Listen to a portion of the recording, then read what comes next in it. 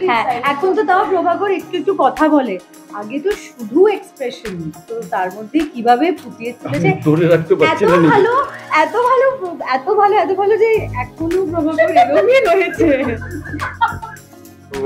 সঙ্গ তো ভালো লাগবে অবশ্যই ভেবলির কারণ ও অ্যাজ মানে সুরভির কথা বলছি না Mithali is a negative soul এবং ও দিনে জীবনে একদিনের জন্য আমাকে ভালোবাসেনি ও ভালোবেসেছে অর্থ হরগৌরী পাইস হোটেলের প্রপার্টি আমার সাথে ভিবলির সম্পর্কটা ভালোবাসা ছাড়া আর কিচ্ছু না রুরাল অনেক বেশি বাস্তব হিসেবে দেখে টেলিভিশন সেখানে গেলে ও কোনো ও যে গালাগালিটা খাবে এটা অবিশ্বাস্য হবে।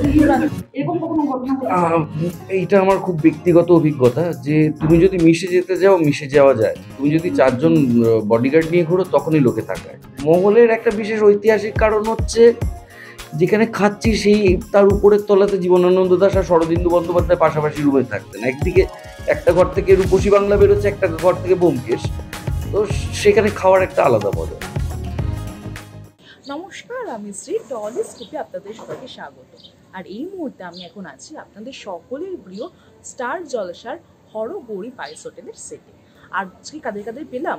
আর তাদেরকে কী বা প্রশ্ন করলাম, সেসব কিছু জানাব আমি আপনাদেরকে।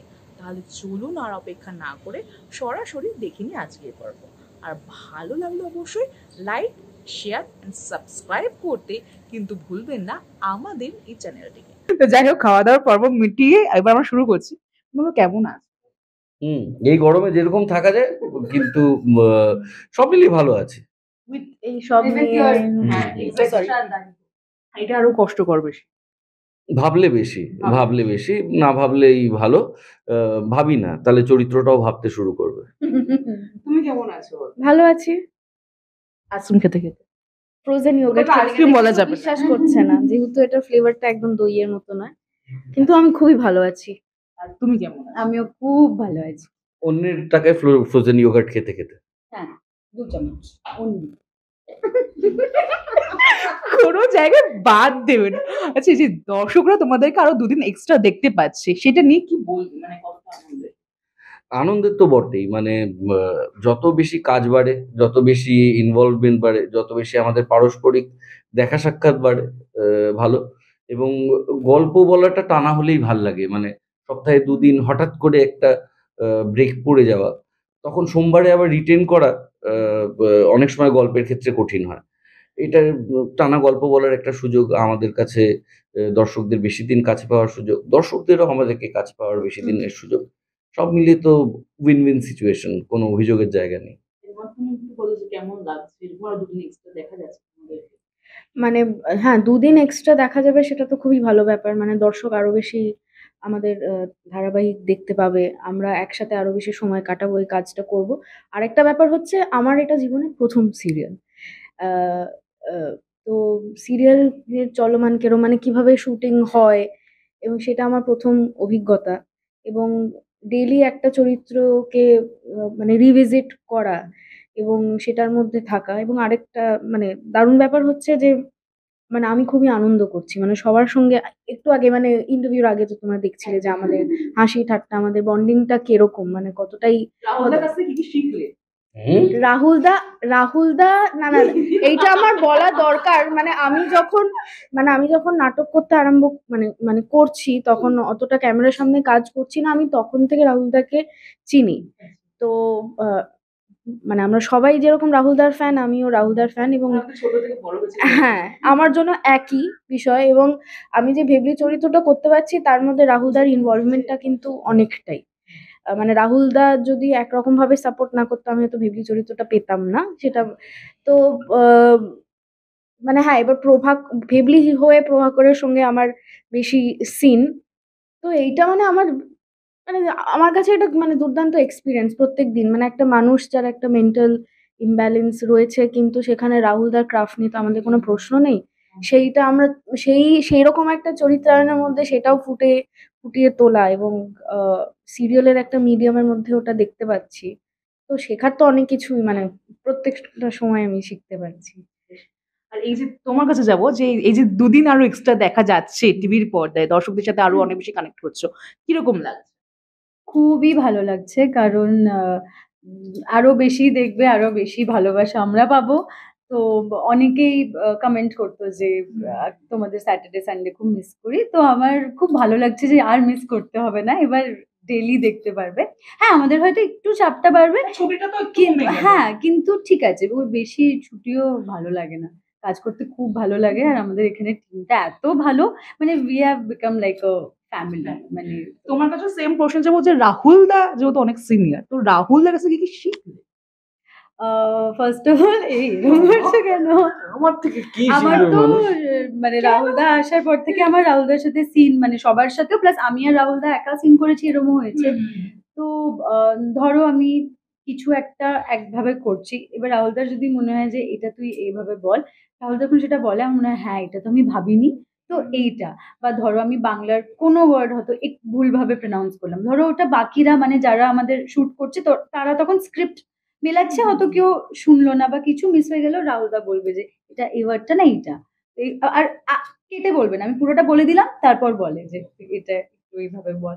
তো এইগুলো আমি খুব ভালো লাগে আর অভিনয় তো অবভিয়াসলি আমরা সবাই রাহুলদা যখন সোলো শর্ট দেয় আমরা তো এরকম করে তাকিয়ে থাকি। হ্যাঁ এখন তো তাও প্রভাকর একটু একটু কথা বলে। আগে তো শুধু এক্সপ্রেশন তো তার মধ্যে কীভাবে ফুটিয়ে তুলেছে? ধরে রাখতে এত পারছি না ভালো এত ভালো এত ভালো এত ভালো যে এখনও প্রভাকর এরকমই রয়েছে। ঠিক হচ্ছে না। কি বলে? প্রভাকর কি বলবে এবার? প্রভাকরের মতন বলতে গেলে এত ভাবে তোমার প্রশংসা করছে। তো তুমি জানো না আমি আমি ভাব আমি ভালো টালো না। আমি জানি যে আমি ভালো নই তাই জন্য আমি প্রচণ্ড খাটি। এটাই হচ্ছে ডিফারেন্স বাকিরা হয়তো জানে। আমি প্রচুর খাটি প্রচুর খাটি খাটনিটাই আসলে শো করে। আমি খুব একটা শিওর নই।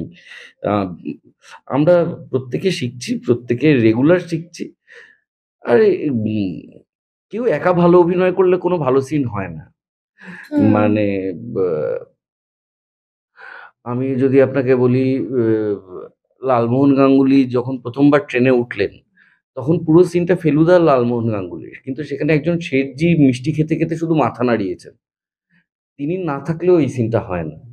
তো প্রত্যেকের কন্ট্রিবিউশনে একটা সিন তৈরি হয়। সেখানে Rahul is just a cog in the wheel albeit an important one আমি খুব ইম্পর্টেন্ট একজন কগ হিসেবে নিজেকে বিশ্বাস করব। কিন্তু আমি চাকার একটা অংশ, একটা স্পোক বাকি স্পোকগুলোর মতন। আর দর্শকরা এখন কি চমক দেখছে? মানে এখন কি চলছে সেটাও বলো একটু, আর আগামী পরে কি কি চমক দেখছে সেটাও এখন যেটা চলছে সেটা হচ্ছে মূলত মিতালি এবং ভাস্করের যৌথ ষড়যন্ত্রে আমাদের আমাদের ঐশানীকে চোর সাব্যস্ত করে জেলে নিয়ে যাওয়া হয়েছে। যেটা আমরা পরিবারের যারা শুভ বুদ্ধি সম্পন্ন তারা কেউই বিশ্বাস করতে পারছি না। কিন্তু আমাদের সামনে এমন কিছু প্রমাণ এনে ওরা প্রেজেন্ট করেছে যে আমাদের হাতে উপায় নেই। কিন্তু আলটিমেটলি সত্যমেব জয়তে এবং সত্যের জয় হচ্ছে এবং কীভাবে ঐশানী ফিরে আসছে সেটা এই মুহূর্তে দেখানো হচ্ছে। আর এই সাত দিনের যে আমাদের সিরিয়ালটা হয়ে যাচ্ছে তার যে আপাতত মেইন গল্পটা আসতে চলেছে যে হরগৌরী পাইস হোটেল যেটা আমাদের কাহিনীর মূল হোটেল, তাতে একটা ভাঙন দেখা দিচ্ছে। সেই ভাঙনের কারণ অবশ্যই ওদের চরিত্র। সেখান থেকে একটা আদি হরগৌরী পাইস হোটেল তৈরি হচ্ছে, যেটার অংশ হিসেবে আমরা থাকছি। আমরা থাকছি শঙ্কর এবং ঐশানীর সাপোর্ট স্টাফ বা সাপোর্ট হিসেবে। তো বলার মতন এইটুকুনি কোন বউকে বেশি সাপোর্ট করবে? মানে কোন বউয়ের সঙ্গটা তোমার বেশি ভালো লাগে? সঙ্গ তো ভালো লাগবে অবশ্যই ভেবলির কারণ ও অ্যাজ মানে সুরভির কথা বলছি না Mithali is a negative soul এবং ও দিনে জীবনে একদিনের জন্য আমাকে ভালোবাসেনি ও ভালোবেসেছে অর্থ হরগৌরী পাইস হোটেলের প্রপার্টি এবং ওর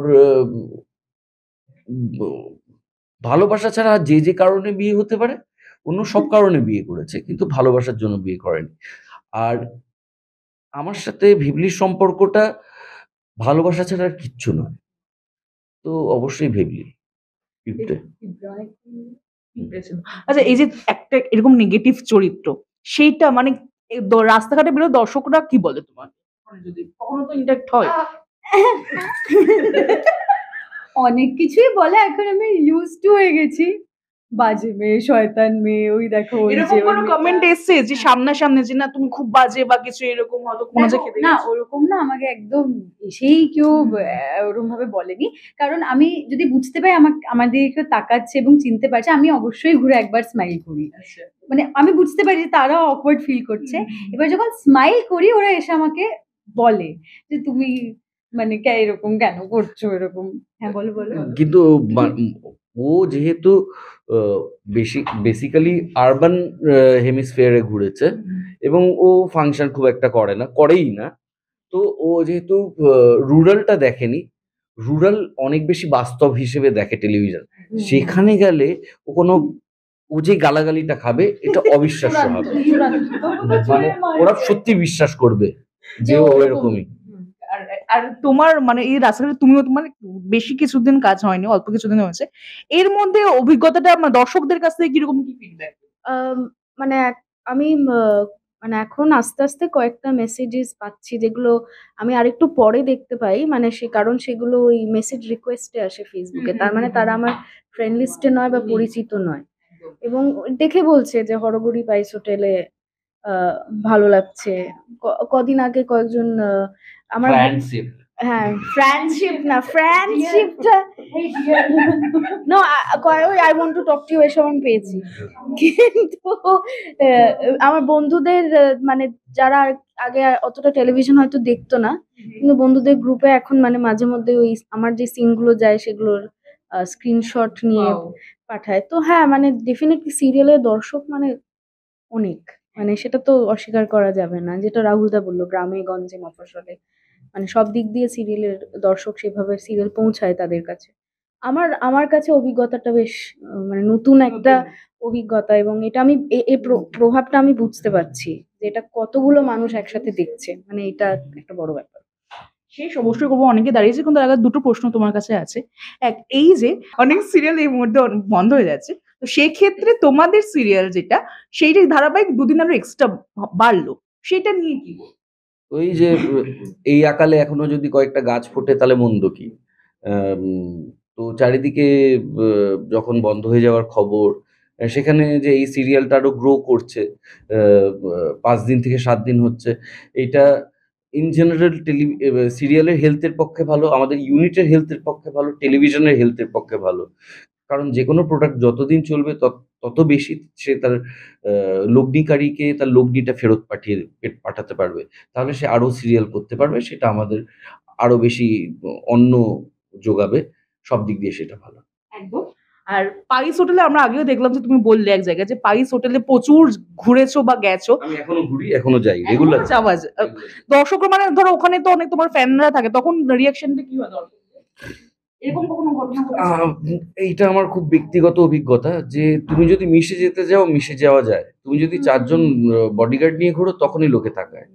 আর আমি যাই যখন ফোন করে যাই এবং আমার টেবিলগুলো আলাদা করা থাকে খুব একটা সমস্যা থেকে না। বেস্ট কোনটা এখনও পর্যন্ত? দেখো সবার আগে মহলকে আমি সব থেকে বড় জায়গা দেব not only because of food food প্রত্যেকটারই এক ভালো মহল কলেজ স্ট্রিটে মহলের একটা বিশেষ ঐতিহাসিক কারণ হচ্ছে যেখানে খাচ্ছি সেই তার উপরের তলাতে জীবনানন্দ দাস আর শরদিন্দু বন্দ্যোপাধ্যায় পাশাপাশি রুমে থাকতেন। একদিকে একটা ঘর থেকে রূপসী বাংলা বেরোচ্ছে একটা ঘর থেকে বোমকেশ তো সেখানে খাওয়ার একটা আলাদা মজা। শুনছে মানে হা করে শুনছে। তো- কোনোদিন পাইস হোটেলে খাইনি। আমার খুব ইচ্ছে যাবে। ব্যাস তাহলে রাহুলদা নিয়ে যাবে কোনো চাপ নেই। রাহুলদা আমাদের প্রমিস করেছে যে আমাদের সবাইকে নিয়ে যাবে। একদিন তো দর্শকদেরকে কি বলবে? পাঁচ দিন থেকে সাত দিন হচ্ছে আমাদের ভালোবাসা আহ, বাড়াবেন। আমরাও আপনাদের ভালোবাসা পেতে চাই। যেভাবে ভালোবাসা দিয়ে আসছেন আরও ভালোবাসা দেবেন। হ্যাঁ আমরা বলব যে আমাদের আহ, আপনাদের যে ফিডব্যাক যে ভালোবাসা আপনারা দিচ্ছেন জানাতে থাকুন আপনাদের কেমন লাগছে। স্টার জলসায় রাত দশটায় মানডে টু সানডে দেখতে থাকুন হরগৌরী পাইস হোটেল কেমন লাগল এই পর্বটি? অবশ্যই জানাতে ভুলবেন না।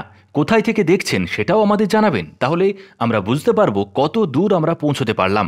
দর্শকদের কাছে আমাদের বিনীত অনুরোধ, আমাদের চ্যানেলটি সাবস্ক্রাইব করুন এবং পাশে থাকা বেল আইকনটি প্রেস করে অল নোটিফিকেশন অন করে রাখুন।